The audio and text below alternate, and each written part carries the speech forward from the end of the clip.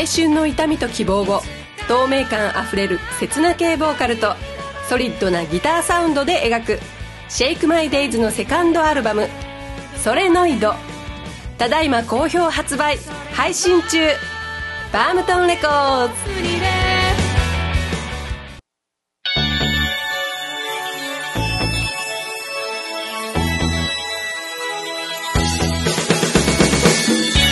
青春ライバル物語 !77-78 年デビュー女性アイドル編 !1979 年前編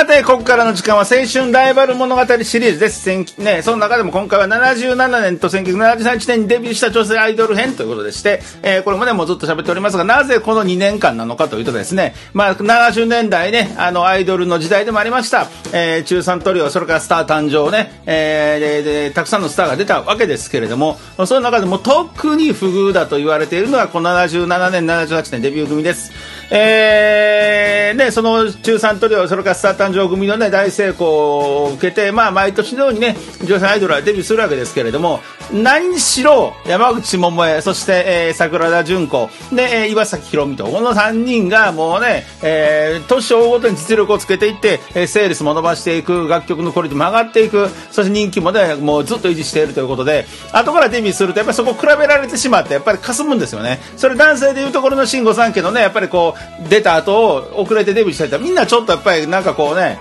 ちょっと霞んで見えてしまうというところもあってなかなか次世代が育たなかったわけですよね。でもそこであのそのね先にデビューしたその桜田淳子山口百恵の世代が、まあ、75年過ぎたあたりから、まあ、高校卒業を迎えてちょっとずつあの清純な女性少女アイドル的なところから大人の歌手へとこうシフトしていってちょっと楽曲がまあ大人っぽくなっていくわけですよね。そうするとやっぱりねなんかこう初々しい曲を聴きたいというニーズはやっぱりねティーネージャー中心に起こるのでちょうどいい具合であの新しい世代の実力派が出てきたんですけれどもで本来ならばねそこのうまく世代交代のもとに、えー、売れてもよかったんですがあ、ね、残念なことにその70年代後半からニューミュージックブームというのが起こりまして、えー、チャートのね上位をほぼほぼニューミュージック勢が占めていくという事態が起こりましてえーね、例えばプロマイドが売り上げがね、えー、上位を占めている。それからテレビ露出も多い、えー、人気投票なんかも多い。ファンの数も多い。なのにレコード売り上げだけが伸びないというね。そんな事態が起こってきたわけですね。そしてなかなかその記録としては、えー、残らないままあのちょっとこうねどうしてもこう影に隠れがち。歴史上語られにくいみたいなね。そんなでもあのその中でもその、ね、こう苦しい中でも70年代後半から80年代をちゃんとこう駆け抜けていって、えー、一定のクオリティの曲を出し続けヒット曲も出してねいった。えー、歌手4組にスポットを当てていきたいなというのがこの企画の趣旨であります。えー、一足早く77年に榊原幸と高田水江がデビューをしました。えー、この頃はね、えー、まあ、榊原幸は少し低空飛行で、えー、スタートしたんですが、高田水江はデビュー曲からまた、花、ガラス坂が大ヒットすると。で、78年に入りまして、石野真と石川瞳がデビューをします。えー、で、この辺りからですよね、あの、曲のクオリティはいいのに、えちょっとずつね、歯車がヒットとヒットしにくい。特に西野真子なんかはねあれだけのクオリティとあれだけの前評判がありながらなぜ、えー、デビュー曲からねそんなに苦労してるのかっていうねところもちょっと語ってきました。やっぱりねあのそのニューミュージック勢の台頭が大きかったですね。で、僕の分析でちょっと、まあ、繰り返しになりますけれども、え、ちょっとデビューの年齢が、例えば山口百恵、桜田淳子、岩崎宏美に比べると、みんなちょっと遅いんですよね。え高校卒業ぐらいからデビューすると。で、だから実際に山口百恵、桜田淳子と比べたときに、坂木原レクエタ、片水江、えー、石川秀美は、年齢そんな変わらないんですよ。1歳ぐらいしか変わらない。同い年か1歳ぐらいしか変わらないと。石野真子でも2歳下年ぐらいなんで、事実上同じぐらいの世代なんですよね。うんでも、そのね、先にデビューしたその山口森桜淳子は、その前からの流れがあって、ストーリーがあって、ファンもそれを知ってて成長しているので、そこ確固たるね、あのもう、あの、ファン層がついていると、固定ファンがついていると。それに比べてやっぱりね、まだデビューしたてではそこのストーリーがよく、あんまりよく伝わっていないので、なかなか思い入れが入れにくいというところがあって、なんかそのこう、ウィウィしい、なんかこう、あどけない感じ、顔がパンパンに、みたいな、そんなところない、なかったわけですよね。えー、まあ、石田真子が若干ね、デビュー当時顔こうがまだまだパンパンと丸い感じがしたんですけれどもね。えー、だからその辺のこともあっての、ちょっとこうね、あのー、ラライバルがちょっとこう、多いところに、そして一方で年齢上の層に行くと、もうやが、えー、ま、えっ、ー、と、渡辺真知子とか矢上純子とかあんなあたりも出てくるので、えー、似たような曲だとそっちの方に買うよね、みたいなところがあってね。で、そこの一つの、ただその中での一つの正解が、榊原郁恵の夏のお嬢さん。やっぱりああいうはつらつとしたね、女の子らしい可愛らしいね、夏っぽい曲というのは、一番、あの、空いていたの、もうその桜田淳子も親星もも岩崎宏もそういう曲を歌わなくなったので、えー、そこのニーズがあって、ちょうどでピンクレディのその、渚のシンドバッドキャンディーズの、うん、処置を見申し上げますと、並ぶような、こうね、明るいね、アイドルポップらしい、ちょっとロック調のね、あの曲、あの、夏の女さんがヒットしました。あれがまあ大きなヒントだなと思うんですけれども、果たしてそれがそのままね、あの、その、70、次の年79に繋がっていくのかというのが今回のテーマです。今回79年となります。えー、で、榊原池が夏のお嬢さん、そして高田水江がまあ女友達、そして、えー、石川瞳がくるみやる人形、そして石野真子が失恋記念日と、曲のクリティクオリティはいいのになかなかね、あの、ベスト10に入らないというところで、まずは、年またぎの曲からいきましょう。1979年11月1日にリリースされたのが、こんな曲です。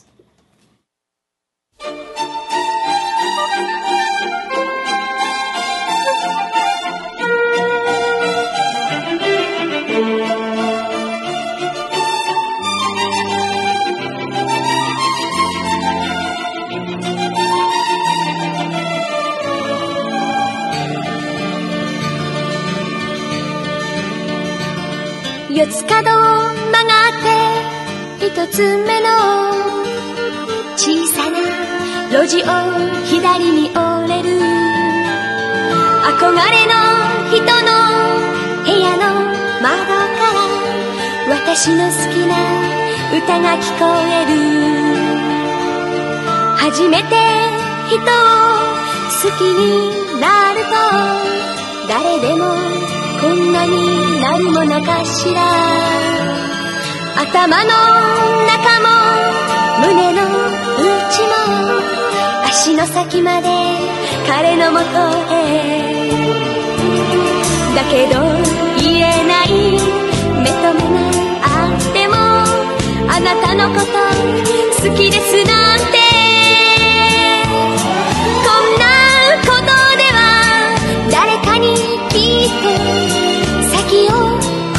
しまう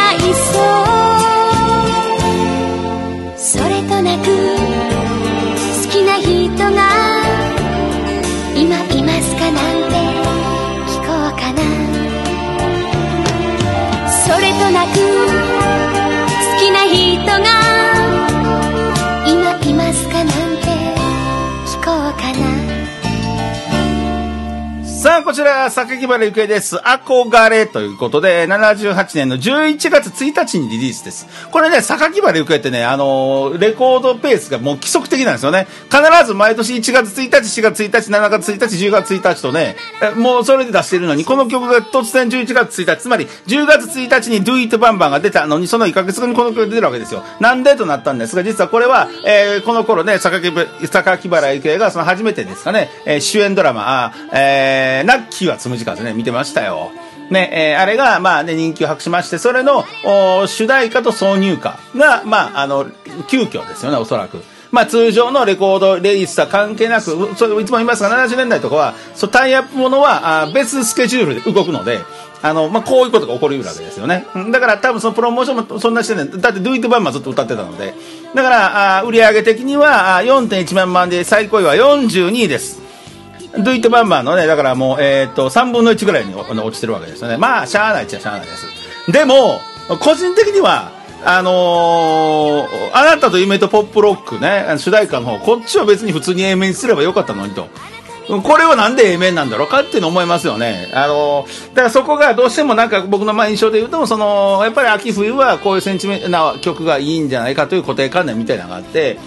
あのーっていうのも、そんなことないのになと思うんですよね。えーまあこれはまあでもまあこういうちょっとこうね、えーまあ特別、別企画ものということなので、まあ参考程度にということでいきましょう。まあそんなに影響はないと思うんですよね。そして年が明けます。いよいよ79年です。79年の1月1日にはちゃんとこの曲がリリースされます。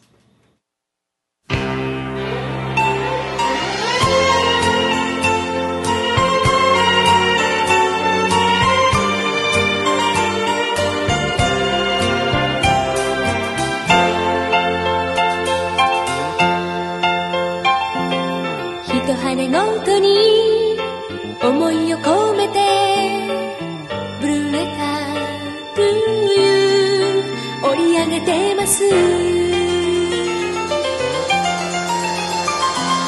心臓の音聞こえますか？影に浮かぶ翼見えますか？あなたに夢中で夢中で夢中ではち切れそうなんです。ああ譲るフライアウェイ。ドキドキフライアウェイ。嬉しくせに涙が出るの待ち続ける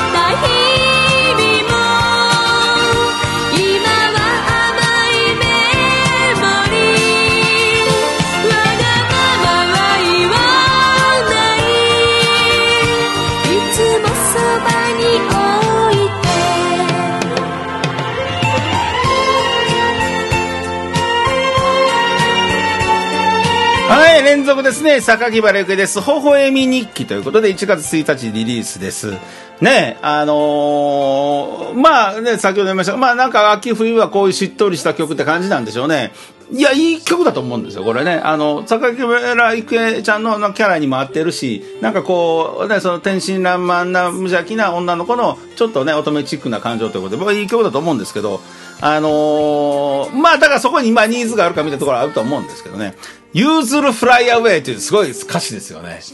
あ、ゆあんなユーズルフライアウェイって歌ってるなと思うと、ほんまにユーズルフライアウェイって歌っててね、驚くんですけど、えー売り上げが12.5万枚で最高位は15位です。まあ、あのー、Do It バンバンとそんなに変わらないので、まあ、この辺は、あのーちゃんとこうしっかりファンはあのー支えてるって感じでした、まあ、プラスにはならないしこれで聞いて榊原郁恵がファンになった人は多分そんなにいないと思うんですけど、まあ、ファンからすると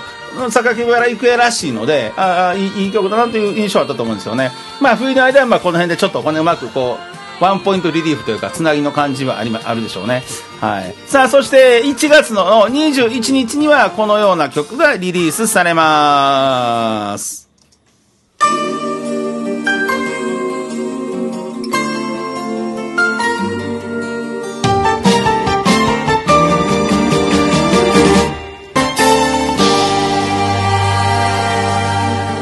春の街を泳ぐ恋人たちが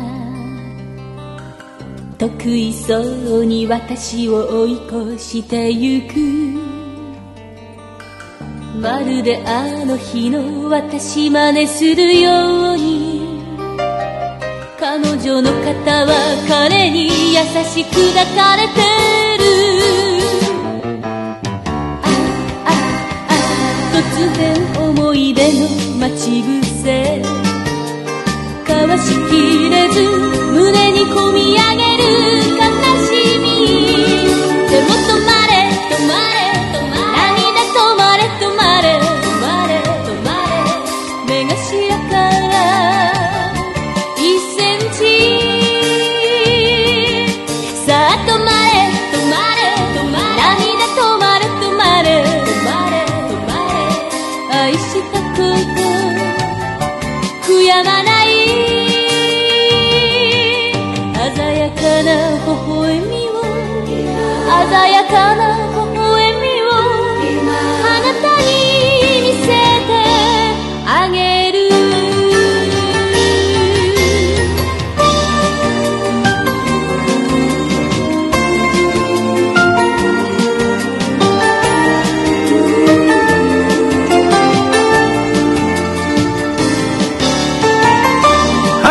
石川ひとみです。鮮やかな微笑みということで、1月21日リリースの3枚目のシングルです。えー、くるみ割り人形がですね、あのーちょっとね、インパクトを残しまして、あの時ね、言いました、あのー6.2万枚売り上げの42位なんですよ。まあ、42というのはね、あなんか低いなというところなんですが、6.2万枚はこれなかなか立派な数字でして、えー、6万枚ぐらい売ってれば、もう全然20ぐらい近くには行ってるはずなんですよね。え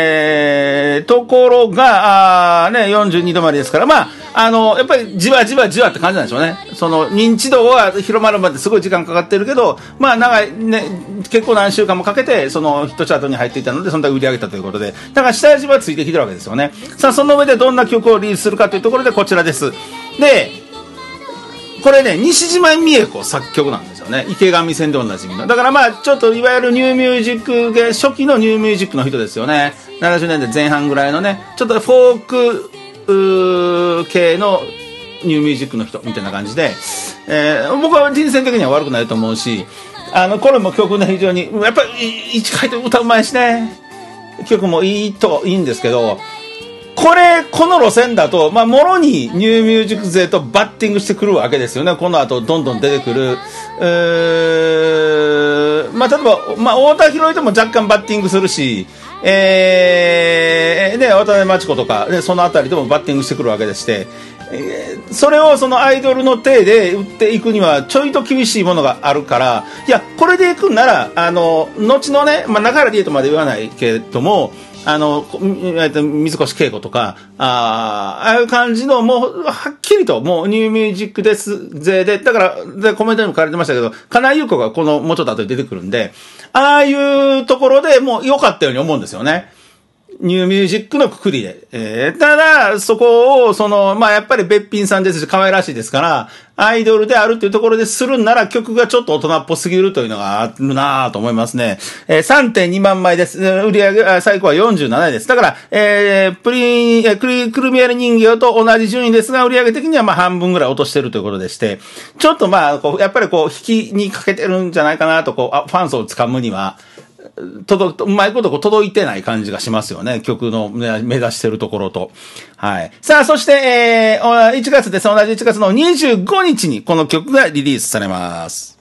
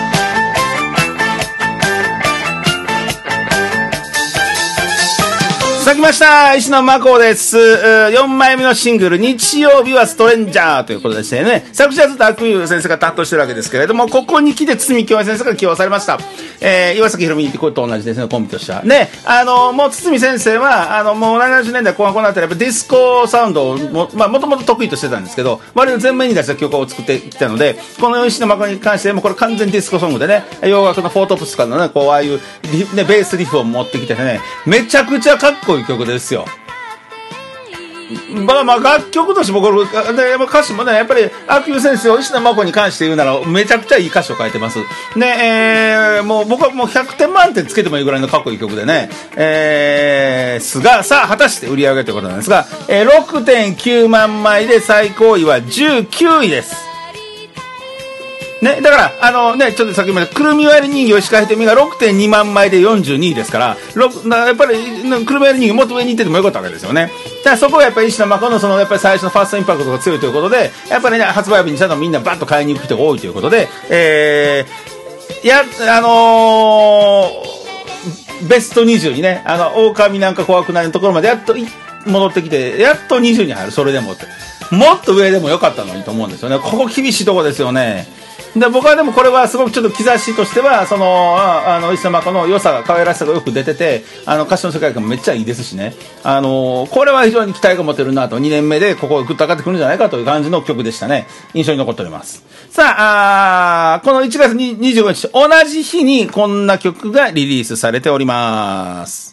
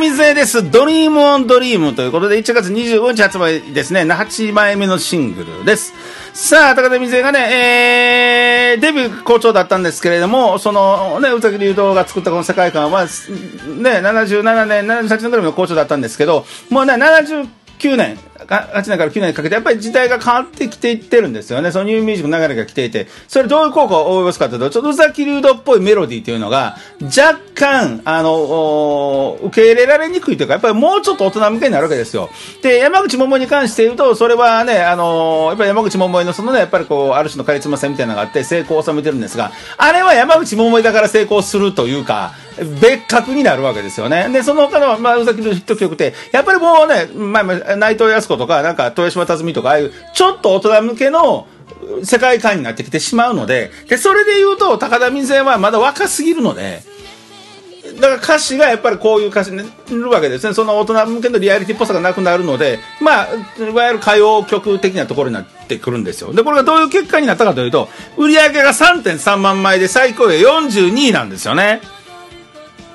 だから、その、二つ前のなぜという曲も、いきなり突如46位まで落ち込んでいる。ただ、あれはまあ、あるね、あの、コメントにもありましたが、企画もんということで出されましたと、その歌詞を募集してということで、まあ、そういうのもあって、あまりプロモーションもされてないので落ちたんだろうと。で、その後の女友達は、11万枚打って19位まで来ておりますから、まあ、このあたりが高田水江のね、ちゃんとした実力だろうと思われてたんですが、これ普通に出されたシングルが、えー、ね、その40位をより下がるということになりまして、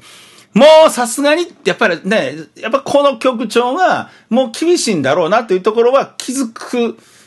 と思うんですよね。別に宇崎竜太が悪いわけではなくて、その感じが、その、もう79年という年代を考えたときに、そこ、そこを歌っても、その買う人がいないというね、えー、ところなんだろうなと思うんですよね。えー、これ大変なが、危機的状況になってきました。果たしてどうなるんでしょうか。さあ、そして4月に入ります。4月の1日にはこんな曲がリリースされます。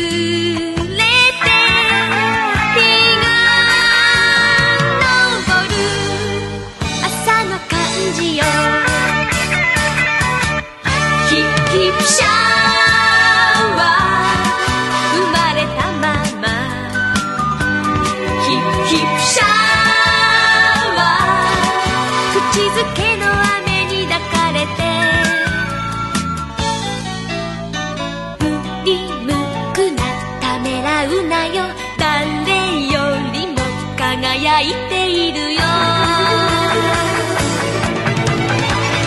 なたの言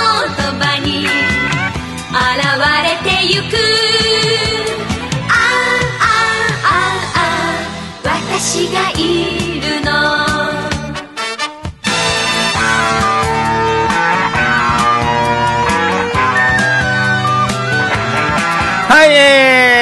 榊原郁恵です。青春気流ということでして、えー、11枚目のシングルですね。まあ、あのー、やっぱこの路線ですよね。その、微笑み日記青春気流ということで、やっぱりちょっとね、青春路線ということで、まあ、ちょっとフォーク歌謡っぽいところっていう狙いは伝わりますよね。ただ、まあ、作詞作曲が三浦よし子、まがいの工事ということですこの辺はもう手だれたヒットメーカーですので、非常にキャッチに仕上がっております。えー、これあのー、いちご、あの、グリコアイスクリームの CM でもななってますから、まあ、ここの、あの、なんていうかこう、バックアップ体制は完璧ですし、あの曲も、あの、非常にキャッチーですけれども、まあでも、なんでしょうね。あのー、はじけ度合いはか、かけてますよね。だからまあこれ4月だからっていうね、なんで、そんなにこう、キャビキャビせずに、というところが狙いがあったのかなと、もうちょっとね、なんかこう、おとなしいというか、あの、そういう感じがしてしまいますよね。もっと弾けてもええのになと思うんですよね。で、これがどうなったかというとですね、売り上げが9.1万枚で最高位は21位です。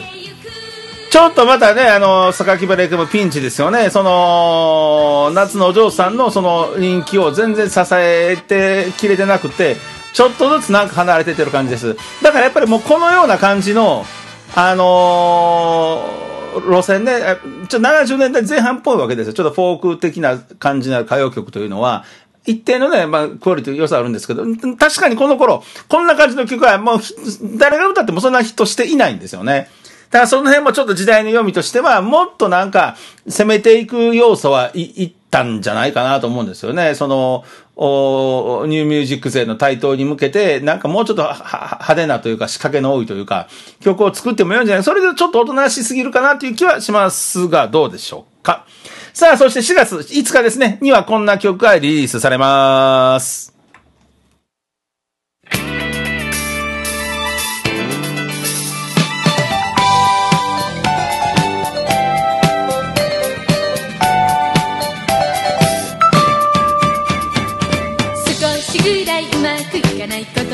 だって。そんなにくくれることはないじゃないか。去年よりもみんな大人になっていたから。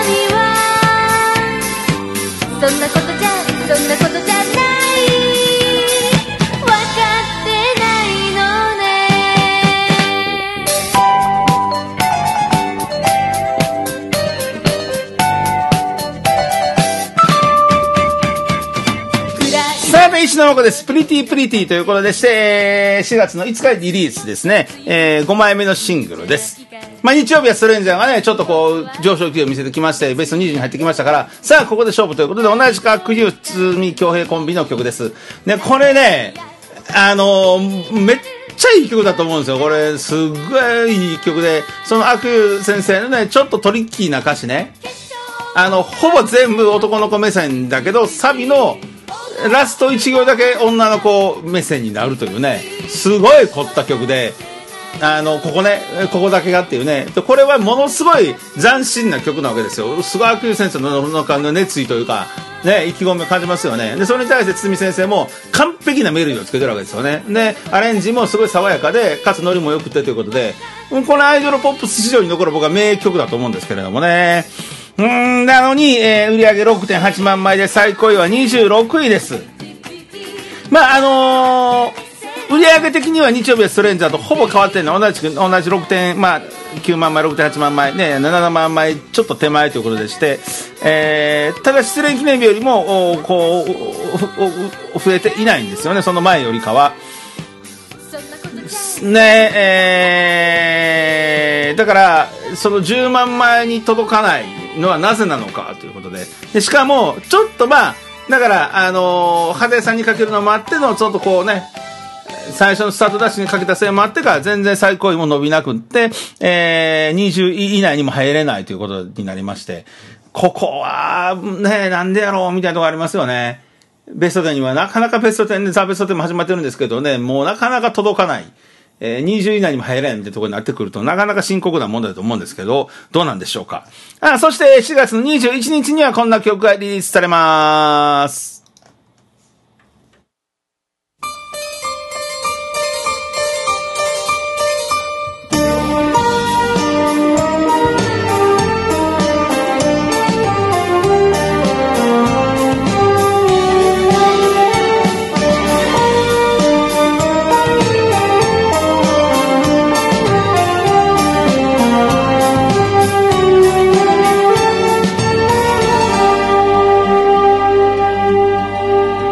あなたが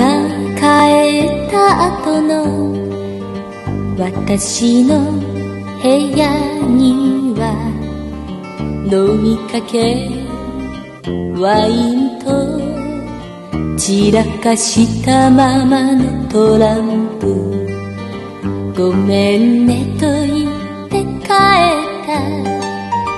ごめんねと言ってあなたしんと静かな真夜中はいつも決まって一人ぼっち。さあ目を覚ませ人形たち。